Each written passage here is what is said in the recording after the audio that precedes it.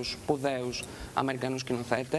Ναι, γιατί το, μπήκα στο, στο Zoogla.gr, στην ε, ηλεκτρονική εφημερίδα και βλέπω το Woody Allen να προγραμματίζει ταινία Ακριβώς, κτλ. ναι. Έχει έρθει το επιτελείο ήδη εδώ, έχω να σας πω. Ε, η ταινία θα έχει να κάνει με την Ελλάδα της κρίσης, όπως είπες. Οπότε καταλαβαίνουμε ότι είναι μέσα σε εμάς.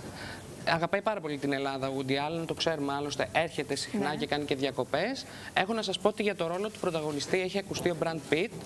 Ενώ της Ελληνίδας ερωμένης που είναι το σενάριο είναι η Πενέλοπε, ε, η Πενέλοπε Κρούς. Είναι Μάλιστα. μια ταινία που Ξανά την Ελληνίδα η Πενέλοπη Κρούς. Ξανά. Γιατί την Μετά έχει το κάνει και μαντολίνο στο- του Την έχει Λοχαγού. υποδηθεί, ναι.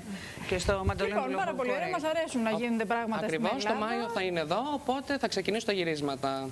Διαφήμιση. Είναι για τη ένα χώρα μας καλό βεβαίως. είναι.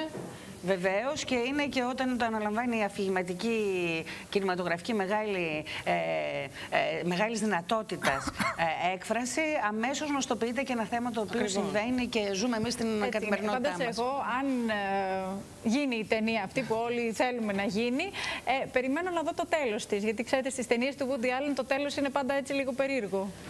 Μμ, ναι. Ναι, το ξέρουμε. Ελπίζουμε να μην είναι τόσο περίεργο για τη χώρα μας έτσι και την ταινία. Λοιπόν, τώρα όμως πάμε σε ένα